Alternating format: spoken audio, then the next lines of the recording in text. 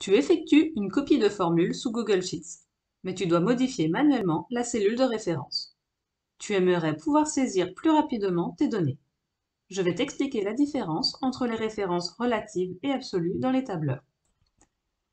À la fin de cette vidéo, tu sauras comment écrire et optimiser tes formules.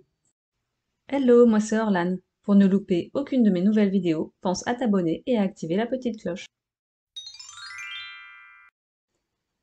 Entrons dès à présent dans le vif du sujet. Une cellule est désignée par sa référence. Par exemple, B3 est la référence de la cellule B3. Cette cellule a pour colonne B et pour ligne 3. Pour une cellule, nous avons quatre notations différentes de la référence. La référence relative s'écrira C3. La référence absolue, $C, $5. Un dollar devant notre colonne et un dollar devant notre ligne. La ligne absolue s'écrira C, $7. Et la colonne absolue s'écrira $C 9. Nous verrons dans la suite de cette vidéo l'utilité de chacune de ces notations. Prenons pour exemple ces deux nombres décimaux en colonne B. Nous souhaitons connaître leur arrondi. Nous écrivons donc notre formule en colonne C.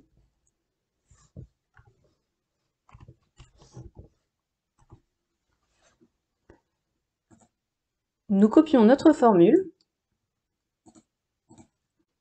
Si nous nous rendons dans notre formule, nous voyons bien que la cellule de référence s'est décalée et nous avons bien l'arrondi de B4.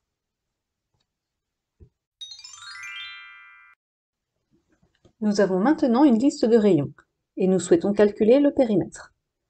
Nous écrivons donc notre formule égale 2 fois pi fois notre rayon. Si nous copions notre formule telle qu'elle, alors nous obtiendrons une erreur. Il nous faut donc fixer la valeur C2, la valeur de pi. Pour cela, nous ajoutons un dollar devant le C et un dollar devant le 2. Nous validons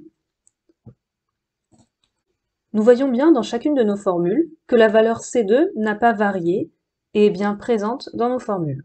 Pour aller plus vite, lors de la saisie de la formule, il suffit d'écrire égale notre formule de référence, par exemple D1, et de cliquer une fois sur F4.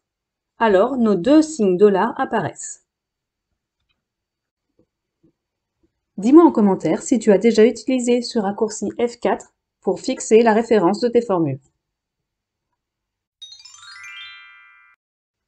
Dans nos formules, il est possible de ne fixer qu'un seul axe. Nous placerons toujours le signe dollar devant la référence que nous souhaitons fixer. Nous souhaitons compléter une table de multiplication. Commençons par la colonne B. Nous écrivons notre formule égale notre ligne de référence multiplié par notre colonne de référence et nous validons. Si nous étirons cette formule, nous n'obtiendrons pas le résultat escompté. Nous allons donc fixer notre ligne. Pour cela, nous ajoutons un dollar devant le 1 de B1.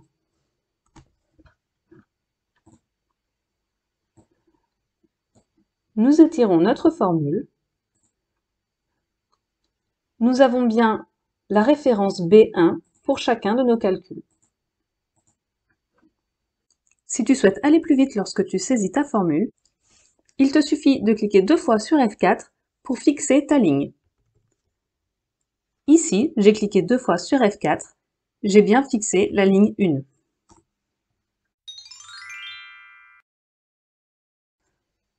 Nous souhaitons maintenant fixer la colonne dans notre formule. Nous retournons en cellule B2, puis nous ajoutons un dollar devant le A. Nous validons. Nous pouvons maintenant copier notre formule sur la ligne complète. Si nous copions cette ligne sur les autres lignes, nous pouvons voir que dans chacune de nos formules, la colonne A est fixée sur la première référence et la ligne 1 est fixe sur la seconde référence. Pour fixer ta colonne lorsque tu saisis ta formule, il te suffit de cliquer trois fois sur F4. Ici, nous avons B1, je clique trois fois sur F4. Ma colonne est fixée.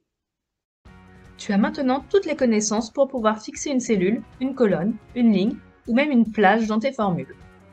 Les références relatives et absolues n'ont plus de secret pour toi. Je t'invite à pratiquer et à tester par toi-même. Si tu as aimé cette vidéo, n'hésite pas à commenter, liker, partager et je te dis à très bientôt.